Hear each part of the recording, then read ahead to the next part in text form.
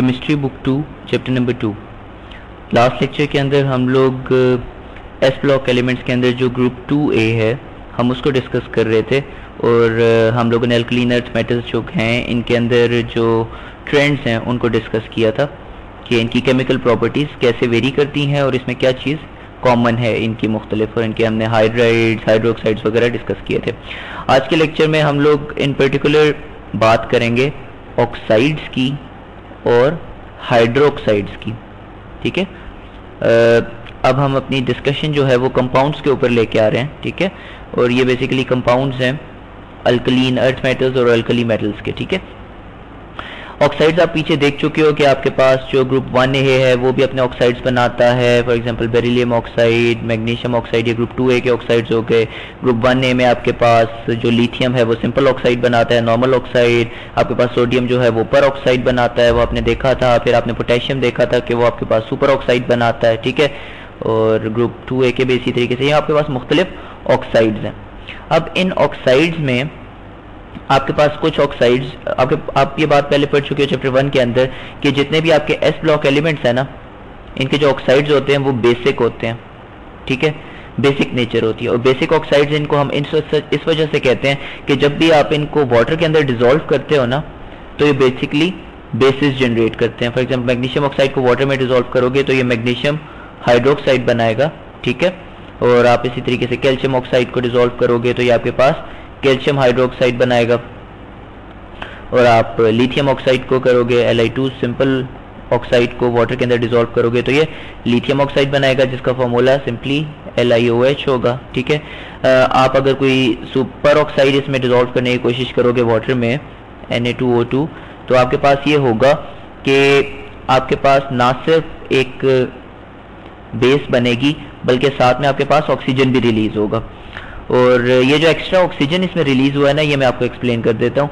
Basically Na2O2 का structure कैसा होगा, ये मैं आपको लास्ट लेक्चर में डिटेल में मैंने आपको बताया कि पर ऑक्साइड आइन देखने में कुछ ऐसा होता। है ठीक है? और negative O two O two minus two इसका होता। है और सोडियम इसके दोनों तरफ़, एक एक सोडियम यूँ अटैच हो जाता। है तो ये आपके पास Na2O2 का स्ट्रक्चर होता। है ठीक है? अब होता ये है कि अब इसके साथ से एन ए साथ से इसके अलग हो जाता है और ये जो प्लस चार्ज था, ये साथ एक इलेक्ट्रॉन ले के अलग होता है, ठीक है? यानी एन ए के फॉर्म में ये अलग हो जाता है, ठीक है? और पीछे ये आपके ऑक्सीजन जो है, ये आपस में डबल बॉन्ड बना लेता है ये आपके पास वो वाला ऑक्सीजन होता है जो यहाँ पे एक्स्ट्रा आपके पास आ गया। और फिर ये जो सोडियम है, ये आपका यहाँ पे अटैक करता है इसको और ऑक्सीजन वो जो है, वो अटैक करता है और आपके पास फिर फर्दर रिएक्शन होता है, ठीक है? तो ये एक ऑक्सीजन एक्स्ट्रा उसकी वजह से आ रहा है आपके पास। आप लास्ट लास्ट लेक्चर में जाओ तो वहाँ से आपको क्लियर पता चल जाएगा।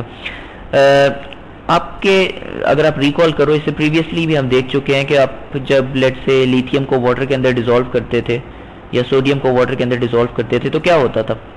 कि सोडियम पहले आइनाइज होता था ऑक्सीडाइज हो जाता था इटसेल्फ ठीक है? और दूसरे को ये रिड्यूस करने की कोशिश करता था। यानी खुद ये ऑक्सीडाइज होके सोडियम आइन बन जाता था और ये फिर बाद में हाइड्रोसाइड प्रोड्यूस कर देता था ठीक है? और साथ में हाइड्रोजन रिलीज़ हो जाती थी आपके पास ठीक है? इस केस में हो ये रहा होता था कि सोडियम जो है ये ऑक्सीडाइज हो रहा है और ये हाइड्रोजन को रिड्यूस कर रहा होता है ठीक है? आ, ये जो थे ये रेडॉक्स रिएक्शंस थे रेडॉक्स रिएक्शंस जो इससे पीछे आप देख रहे थे। अब जब आप कह रहे हो ना कि अब आप सोडियम की बात नहीं करोगे अब आप सोडियम पर ऑक्साइड की बात कर रहे हो ना कि अब आप इसको वाटर में डाल रहे हो। अब बेसिकली रिडक्शन ऑक्सीडेशन नहीं हो रही अब। अब ये नहीं हो रहा कि यहाँ पे सोडियम का चार्ज ज़ीरो हो और यहाँ पे बढ़ जाए। अब आपके पास सिंपली ये है कि अब आपके पास एसिड बेस एडिशन हो रही है। एसिड बेस रिएक्शन अब आपके पास काइंड ऑफ़ हो रहे हैं, ठीक है? और आपके पास कोई एक सॉल्ट नुमा चीज़ बन रही है। बेसिकली आपके पास होता ही है कि फॉर एग्जांपल लिथियम ऑक्साइड लेते हो, इससे जो ऑक्साइड आइन है ना, ये ब्रेक करता है। ये आपके वाटर को अटैक करता है। और क्या करता है कि इसको हाइड्रोक्साइड्स में कन्वर्ट कर देता है। और ये जो हाइड्रोक्साइड्स होते हैं, फिर ये फर्दर आपके पास केटाइन के साथ रिएक्ट करके बेस जनरेट करते हैं। यहाँ तक तो बात बहुत सिंपल है आपके पास, ठीक है? अब हम एक इंपॉर्टेंट पॉइंट डिस्कस करने लगे वो ये है कि जो आपकी बेसिस होती हैं, चूँकि अब हाइड्रोसाइड्स की बात कर रहे हैं तो आपके पास सॉरी हम ऑक्साइड्स की बात कर रहे हैं। ये मुख्तलिफ़ ऑक्साइड्स की हम बात कर रहे हैं। और ये जो ऑक्साइड्स हैं, ये वाटर के अंदर डिजोल्व होकर हाइड्रोक्साइड्स प्रोड्यूस करते हैं, जो आज का हमारा मेजर टॉपिक भी ऑक्साइड्स और हाइड्रोक्साइड्स ही है। तो हम लोग देख रहे हैं कि ये ऑक्साइड्स जो हैं, जो कि बेसिस बनाते हैं या हाइड्रोसाइड्स प्रोड्यूस करते हैं, एक बेस की स्ट्रेंथ जो होती है, वो किस चीज़ पर डिपेंड करती है? या एक एसिड जब आप कहते हो कि एक एसिड की जो स्ट्रेंथ होती है, वो किस चीज़ पे डिपेंड करती है? आपको पता है एक एसिड वो होता है जिसके अंदर एक हाइड्रोजन का आइन या प्रोटॉन होता है। या आप यूँ कहते हो कि एक एसिड एक ऐसी हम एंटिटी को कहते हैं, जो एक प्रोटॉन डोनेट करने की टेंडेंसी रखता है। प्रोटॉन डोनेशन की टेंडेंसी रखता है। ठीक है? यानी अगर आप किसी एसिड को डिजोल्व करने की कोशिश करो वाटर के अंदर तो वो रेडिली H प्लस और जो भी उसका केटाइन है सॉरी एनाइन है आपके पास anion with negative charge वो आपका फोरन चेंज हो जाएगा। फॉर एग्ज़ाम्पल आप सल्फ्यूरिक एसिड की बात करते हो तो सल्फ्यूरिक एसिड फोरन एच प्लस में और बाय सल्फेट आइन आपके पास H S O four minus one में फोरन स्प्लिट हो जाता है, ठीक है? इस वजह से सल्फ्यूरिक एसिड बहुत ही स्ट्रॉन्ग एसिड है, ठीक है? लेकिन अगर आप एच एफ़ की बात करो, ठीक है? तो एच एफ़ जो है वो इतना स्ट्रॉन्ग एसिड नहीं है, ठीक है? कि इसके अंदर हाइड्रोजन और फ्लोरीन इतना रेडिली नहीं होते आपके स्प्लिट और उसकी वजह यह है कि एच और एफ़ की जो आपस में बॉन्डिंग है, वो बहुत ही स्ट्रांग होती है। तो एच प्लस आइंस प्रोड्यूस होना मुश्किल हो जाता है। इस वजह से हम कहते हैं कि ये वाला एसिड वीक है। बेसिस भी इसी तरीके से बेसिस के अंदर आपके पास हाइड्रोक्साइड आइन होता है, ठीक है? और जितना आसानी से आप हाइड्रोक्साइड आइन को ब्रेक कर सकते हो स्प्लिट कर सकते हो, आप कहते हो कि उतनी स्ट्रॉन्ग बेस है, ठीक है? फॉर एग्ज़ाम्पल अगर आप बात करते हो लिथियम हाइड्रोक्साइड की और आप बात करते हो सोडियम हाइड्रोक्साइड की तो आपके पास जो लिथियम हाइड्रोक्साइड है ना लिथियम आप पढ़ चुके हो कि जो लिथियम है, इसका जो आपके पास चार्ज डेंसिटी है charge density charge to size ratio को कहते हैं। लिथियम का साइज़ बहुत कम है, इसकी चार्ज डेंसिटी बहुत ज़्यादा है। तो चार्ज डेंसिटी बहुत ज़्यादा होने की वजह से इसके जो लेटेस्ट एनर्जी है ना लेटेस्ट एनर्जी लिथियम हाइड्रोक्साइड की, वो निस्बता ज़्यादा है। लेटेस्ट एनर्जी ज़्यादा है किससे? सोडियम हाइड्रोक्साइड से लिथियम हाइड्रोक्साइड की लेटेस्ट एनर्जी ज़्यादा है सोडियम हाइड्रोक्साइड से, ठीक है? और सोडियम हाइड्रोक्साइड की ऑफकोर्स ज़्यादा होगी सोडियम से नीचे आपके पास क्या आता है? पोटेशियम हाइड्रोक्साइड से, और पोटेशियम की ज़्यादा होगी रुबीडियम हाइड्रोक्साइड से, और सीजियम हाइड्रोक्साइड से, ठीक है? तो यू आपके पास लेटेस्ट एनर्जी जितनी ज़्यादा होगा, उतना डिफ़िकल्ट होगा आपके इस हाइड्रोक्साइड आयन को स्प्लिट करना, ठीक है?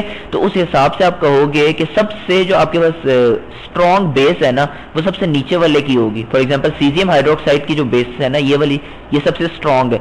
यानी basic character top to bottom top to bottom जब आप आते हो तो बेसिकली जो आपके ऑक्साइड्स की, हम ऑक्साइड्स की बात करें ऑक्साइड्स का जो बेसिक कैरेक्टर है वो इंक्रीज करता है। Top to bottom basic character increases ठीक है? और आपने इसको किस पॉइंट ऑफ़ व्यू से याद रखना है? आपने इसको चार्ज टू साइज़ रेशियो से और चार्ज डेंसिटी से और लेटेस्ट एनर्जी के पॉइंट ऑफ़ व्यू से याद रखना है। ठीक है? और ये तो हो गया आपका बेसिक करेक्टर, अभी हम लोगों ने किसकी बात की? अल्कली मेटल्स की, जिसमें लिथियम, सोडियम, पोटेशियम और रोबीडियम थे। अगर आप बात करो किसकी? अल्कलीन अर्थ मेटल्स की, उसमें भी बेसिकली यूँ ही होता है। आपके पास सबसे पहले बेरिलियम ऑक्साइड फिर बेरिलियम से नीचे आपके पास मैग्नीशियम फिर उसके नीचे आपके पास कैल्शियम स्ट्रॉन्शियम और बेरियम और इनके जो ऑक्साइड्स हैं, ये रिस्पेक्टिवली फिर हाइड्रोक्साइड्स प्रोड्यूस करते हैं। आप कहते हो कि जो सबसे स्ट्रॉन्ग आपके पास बेस प्रोड्यूस होती है ना, वो बेरियम हाइड्रोक्साइड की होती है। और जो वीक होती है आपके पास, वो बेरिलियम हाइड्रोक्साइड की होती है। अब लेट से मैं आपसे क्वेश्चन पूछता हूँ कि आप आपस में ग्रुप्स का कंपैरिजन करो। ग्रुप वन ए का और ग्रुप टू ए का। ग्रुप वन ए का सबसे पहला एलिमेंट है आपके पास लिथियम और ग्रुप टू ए का बेरिलियम आप मुझे ये बताओ कि लिथियम का ऑक्साइड ज़्यादा बेसिक होगा या बेरिलियम का? अब ये किस चीज़ पे डिपेंड करेगा? ये लेटेस्ट एनर्जीज पे डिपेंड करेगा। यानी लिथियम का ऑक्साइड होगा Li2O और बेरिलियम का ऑक्साइड BeO अब lithium oxide lithium hydroxide produce करेगा और beryllium oxide beryllium hydroxide produce करेगा। अब इनमें से कौन सा ऐसा हाइड्रोक्साइड है जो ज़्यादा इजीली ब्रेकअप हो सकता है? आप जब लेफ़्ट से राइट आते हो एक पीरियड में तो आपके पास क्या होता है कि बॉन्ड की स्ट्रेंथ बढ़ रही होती है। बेरिलियम हाइड्रोक्साइड में आपके पास ये है कि बॉन्ड स्ट्रेंथ ज़्यादा है तो ये आपका असल में वीक होगा। बॉन्ड स्ट्रेंथ ज़्यादा होने की वजह से क्या होगा, इस बॉन्ड को ब्रेक करना डिफ़िकल्ट होगा और ये आपके पास वीक बेस हो जाएगी। और लिथियम हाइड्रोक्साइड आपके पास स्ट्रॉन्ग बेस हो जाएगी, निस्बतन इसके, ठीक है? तो आपके पास हम इन जनरल जब बात करते हैं ना जो बेरिलियम ऑक्साइड है आपका, जो कि बेरिलियम हाइड्रोक्साइड प्रोड्यूस करता है, ये आपका इतनी वीक बेस होती है कि आप इसको कह सकते हो कि ये बेसिक कैरेक्टर के बजाय ये एम्फोटेरिक कैरेक्टर शो करता है। ठीक है? आप चैप्टर वन पे चैप्टर वन के अंदर जाओ, वहाँ पे ऑक्साइड्स का जो हमने टॉपिक पढ़ा था ऑक्साइड्स के अंदर हम लोगों ने क्लासिफिकेशन देखी थी ऑक्साइड्स की एसिडिक बेसिक और एम्फोटेरिक के पॉइंट ऑफ़ व्यू से, ठीक है? तो बेरिलियम ऑक्साइड को हमने उस वक्त भी डिस्कस किया था कि ये आपके पास एम्फोटेरिक ऑक्साइड है। बाकी ग्रुप वन है बाकी पूरा का पूरा ग्रुप वन है सिवाय हाइड्रोजन के, और पूरा का पूरा ग्रुप टू है जो आपके पास है, ये सारे के सारे एक्सेप्ट बेरिलियम एंड बेरिलियम के और हाइड्रोजन के, ये आपके सारे के सारे जो है, वो बेसिक ऑक्साइड्स हैं। और बेसिक ऑक्साइड्स के अंदर फर्दर टॉप टू बॉटम और लेफ़्ट राइट क्या हो रहा है, वो मैं आपको ऊपर बता चुका हूँ। और एम्फोटेरिक ऑक्साइड्स आपका बेरिलियम का एम्फोटेरिक वो होते हैं जो एसिडिक और बेसिक कैरेक्टर दोनों शो करते हैं। ठीक है? तो आप लेट से बेरिलियम ऑक्साइड को किसी एसिड के साथ रिएक्ट कराओ तो क्या होता है कि ये बेरिलियम सल्फेट आइन के साथ रिएक्ट करता है और बेरिलियम सल्फेट बना देता है और साथ में आपका हाइड्रोजन ऑक्साइड ये आपके पास वाटर प्रोड्यूस कर देता है, ठीक है? और अगर आप इसी बेरिलियम ऑक्साइड को, अभी आपके पास सॉल्ट और वाटर प्रोड्यूस हुआ है बेसिकली ये न्यूट्रलाइजेशन रिएक्शन हो गया। अब अगर आप दोबारा इसका किसी बेस के साथ रिएक्शन करो किसी स्ट्रॉन्ग बेस के साथ। पहले आपने स्ट्रॉन्ग एसिड से कराया, अब आप स्ट्रॉन्ग बेस से कराओ। तो ये आपके पास क्या बनाएगा? सोडियम बेरिलेट बना देगा, ठीक है? और साथ में आपके पास वाटर प्रोड्यूस करेगा। तो अगेन आपके पास न्यूट्रलाइजेशन रिएक्शन सॉल्ट प्रोड्यूस हुआ और आपके साथ वाटर प्रोड्यूस हो गया, ठीक है? तो ये आपके पास एज एन यहाँ पे आपके पास एज अ बेस रिएक्ट कर रहा है और यहाँ पे पास एज एन एसिड रिएक्ट कर रहा है। तो ये आपके पास एम्फोटेरिक नेचर है इसकी हाइड्रोक्साइड की बेरेलियम के। अब इसके बाद एक और चीज़ भी हम लोग डिस्कस कर लेते हैं सोल्यूबिलिटी सोल्यूबिलिटी आपको लास्ट टाइम भी मैंने बताई थी सोल्यूबिलिटी किस चीज़ पे डिपेंड करती है? सोल्यूबिलिटी आपकी किसी भी कंपाउंड की जो होती है ना फॉर एग्जांपल आप बेरिलियम ऑक्साइड को चेक करना चाहते हो, ये वाटर के अंदर डिजोल्व होगा कि नहीं? ठीक है? तो वाटर के अंदर इसके डिजोल्व होने, वैसे अब ये तो हाइड्रोक्साइड प्रोड्यूस कर देगा, वैसे इसका रिएक्शन हम करा दें। वाटर के अंदर डिजोल्व होने का मतलब ये है कि ये बेरिलियम ब्रेक हो और ऑक्सीजन ब्रेक हो और इसके गिर्द भी वाटर की एक लेयर आ जाए और इसके गिर्द भी वाटर की एक लेयर आ जाए, जिसको हम कहते हैं डाइजोल्यूशन ठीक है? और डाइजोल्यूशन की बेसिस पे आप सोलिबिलिटी डिटरमिन करते हो। अब आपकी सोलिबिलिटी के इन फैक्टर्स पे डिपेंड करती है। हम काफ़ी लेक्चर्स में लास्ट डिस्कस कर चुके हैं कि ये बेसिकली आपकी लेटेस्ट एनर्जी पे डिपेंड करती है। लेटेस्ट एनर्जी पे, ठीक है? यानी आपका बॉन्ड बनाने में या ब्रेक करने में जितनी एनर्जी यूटिलाइज होती है, वो आपकी लेटेस्ट एनर्जी होती है। और आपकी लेटेस्ट एनर्जी जितनी ज़्यादा होगी, उतनी सोलिबिलिटी आपकी कम होगी, ठीक है? लेटेस्ट एनर्जी आप कह लो lattice energy is inversely proportional to solubility solubility ठीक है? जितनी लेटेस्ट एनर्जी आपकी कम होगी, उतना इजीली आप बॉन्ड को ब्रेक कर सकोगे और उतना जल्दी आपका सोल्यूबल होगा। आपका जो ऑक्साइड है, या आपका हाइड्रोक्साइड है। फॉर एग्ज़ाम्पल आप कहते हो कि आप, जो सबसे ऊपर आपका बेरेलियम हाइड्रोक्साइड होता है। बेरेलियम हाइड्रोक्साइड जो है ना, ये आपका ऑलमोस्ट इनसोल्यूबल होता है।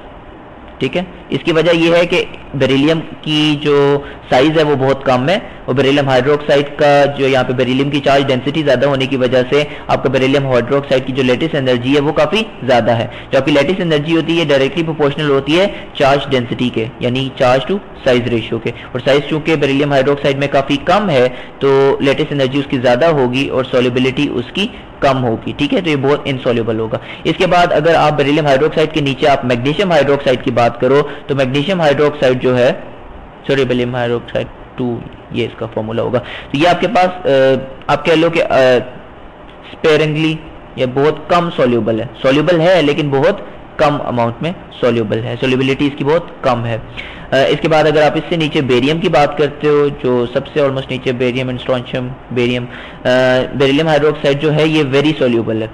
ठीक है? इसकी रीजन जो है कि बेरिलियम हाइड्रोक्साइड में जो आपकी लेटेस्ट एनर्जी है वो बहुत कम है। चार्ज डेंसिटी बहुत ही आ, कम है। इस वजह से आपकी लेटेस्ट एनर्जी भी बहुत कम है। चार्ज डेंसिटी कम क्यों है? बिकॉज़ बेरियम का साइज़ बहुत बड़ा है और लेटेस्ट एनर्जी इसकी कम है और सोलिबिलिटी आपकी ज़्यादा है। ठीक है? तो आपको सोलिबिलिटी इन चीज़ों पर डिपेंड करती है। तो ये जो अभी आपने डिस्कस किए, ये आपके पास अल्कली नर्थ मेटल्स थे और इसी तरीके से आपके पास जो अल्कली मेटल्स हैं फॉर एग्जांपल अल्कली मेटल्स में आपके पास कौन कौन से आते हैं? अल्कली मेटल्स में आपके पास लिथियम हाइड्रोक्साइड फिर आपके पास पोटेशियम हाइड्रोक्साइड फिर आपके पास sodium hydroxide rubidium and then caesium hydroxide ठीक है? तो ये जो आपके पास हाइड्रोक्साइड्स हैं ना फॉर एग्जांपल लिथियम हाइड्रोक्साइड अब लिथियम के अंदर आपका जो बॉन्ड की स्ट्रेंथ है वो ज़्यादा होती है। ठीक है लिथियम का चूँकि साइज़ बहुत छोटा है और अपने बाकी ग्रुप की नस्बत लिथियम की जो चार्ज डेंसिटी है वो ज़्यादा होती है और लेटिस एनर्जी भी ज़्यादा होती है इसकी वजह से लिथियम हाइड्रोक्साइड जो है ये इनसोल्यूबल है ठीक है? और इस ग्रुप के जो बाकी जितने भी हैं साइज़ ज़्यादा होने की वजह से लेटिस एनर्जीज जो उनकी हैं वो आ, कम है और इनकी सोल्यूबिलिटी अगेन आपके पास ज़्यादा है तो ये आपके पास सोल्यूबल है ठीक है? इससे आगे के जितने भी हैं।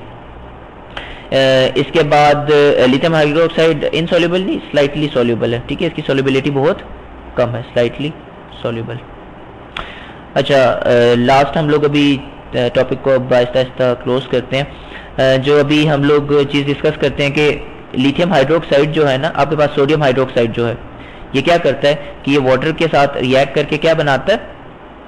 सॉरी हम सॉरी ये इसके साथ रिएक्ट नहीं करेगा। बिकॉज़ रिएक्शन तो उस सूरत में होगा ना। ये आपके पास रिएक्शन नहीं होगा, बल्कि आपके पास सोलिबिलिटी हो जाएगी डिजोल्व हो जाएगा। सोडियम और हाइड्रोक्साइड अलग हो जाएँगे और आपके पास इसके के वाटर के लेयर्स आ जाएँगी। और ये होगा कि इसको हम डाइजोल्यूशन कहते हैं। हाइड्रेशन एनर्जी आपके पास प्रोड्यूस होगी और वो लेटेस्ट एनर्जी से अगर ज़्यादा हुई तो आपका ये डिजोल्व हो जाएगा। ठीक है? जो भी हम लोग चीज़ डिस्कस करना चाह रहे थे वो थर्मल स्टेबिलिटी थी। थर्मल स्टेबिलिटी थर्मल स्टेबिलिटी आपकी ये होती है कि आप जब हीट करते हो किसी कंपाउंड को तो वो क्या स्टेबल रहता है या वो डीकम्पोज हो जाता है? थर्मल स्टेबिलिटी ज़्यादा होने का मतलब है कि वो डीकम्पोज नहीं होता और थर्मल स्टेबिलिटी बहुत कम होने का मतलब ये होता है कि वो फॉरन डीकम्पोज हो जाएगा अपने कॉन्स्टिट्यूएंट केटाइंस और एनाइंस के अंदर, ठीक है? फॉर एग्ज़ाम्पल आप मैग्नीशियम हाइड्रोसाइड लेते हो ठीक है मैग्नीशियम हाइड्रोसाइड और इसको अगर आप हीट अप करो तो बेसिकली आपके पास ये क्या करता है, ये सिंपली अपने कॉन्स्टिट्यूएंट्स के अंदर दोबारा से चला जाएगा मैग्नीशियम ऑक्साइड के अंदर और आपके पास वाटर के अंदर, ठीक है? आपको पता है कि इन दोनों का रिएक्शन करवाया जाए तो क्या होता है मैग्नीशियम हाइड्रोक्साइड प्रोड्यूस होता है। और इसको आप हीटअप करो तो दोबारा आपके पास ये प्रोड्यूस हो जाता है। इसी तरीके से आप कैल्शियम हाइड्रोक्साइड को हीटअप करोगे तो वो आपके पास कैल्शियम ऑक्साइड और साथ में वाटर प्रोड्यूस कर देगा। आप ग्रुप टू ए के कोई भी एलिमेंट लो, या आप अल्कली अर्थ मेटल्स के आप उसका रिएक्शन कराओ तो वो यही रिएक्शन प्रोड्यूस करता है। ग्रुप वन ए में आपके पास जो लिथियम है ना, वो तो ये रिएक्शन करता है। यानी लिथियम हाइड्रोक्साइड को अगर आप ब्रेकअप करो ना तो वो आपके पास लिथियम ऑक्साइड बनाएगा। लिथियम ऑक्साइड का फॉर्मूला आपके पास क्या हो जाएगा? लाइक टू हो ऑक्सीजन नेगेटिव चार्ज के साथ है, और साथ में आपके पास वाटर प्रोड्यूस होगा। लेकिन अगर आप सोडियम हाइड्रोक्साइड को, या आप पोटेशियम हाइड्रोक्साइड को यही आप इसके ऊपर करने की कोशिश करो, आप इनको हीट सप्लाई करो तो आपके पास क्या होगा कि ये रिएक्शन यूँ नहीं होंगे। ठीक है? तो ये इनकी अगेन थर्मल प्रॉपर्टीज़ हैं कि आपके पास जो लिथियम है, ये अनस्टेबल है और जो सोडियम और बाकी वन के जितने भी एलिमेंट्स हैं, ये सारे के सारे थर्मली स्टेबल हैं। ठीक है? थर्मली स्टेबल है। और इसका ताल्लुक भी इनकी आयनाइजेशन एनर्जीज के साथ इनकी लेटेस्ट एनर्जीज के साथ, इनकी एक्टिवेशन एनर्जीज के साथ, इनका काफ़ी चीज़ों के साथ आपका ताल्लुक होता है और इसका प्रॉपर एनर्जी एनालिसिस किया जा सकता है कि ये क्यों रिएक्शंस नहीं होंगे और ये क्यों डिकम्पोज नहीं होंगे। ठीक है? सबसे फाइनल आपको जो आज के लेक्चर में मैं चीज़ अभी बता रहा हूँ वो इनका कैल्शियम और मैग्नीशियम हाइड्रोक्साइड के यूजेस हैं कुछ। ये आपके पास कैल्शियम हाइड्रोक्साइड है ना? कैल्शियम हाइड्रोक्साइड हम इसको लाइम वाटर भी कहते हैं। लाइम वाटर ठीक है? आपके पास जो कैल्शियम ऑक्साइड होता है ना, ये बेसिकली लाइम होता है। तो इसके अंदर जब वाटर डिजोल्व करते हो तो ये आपके पास बेस बना देता है कैल्शियम हाइड्रोक्साइड जो कि लाइम वाटर कहलाता है। ठीक है? तो ये जो आपके पास लाइम वाटर है ना, अगर आप इसके अंदर से कार्बन डाइऑक्साइड को पास करो तो क्या होगा? क्या होना चाहिए?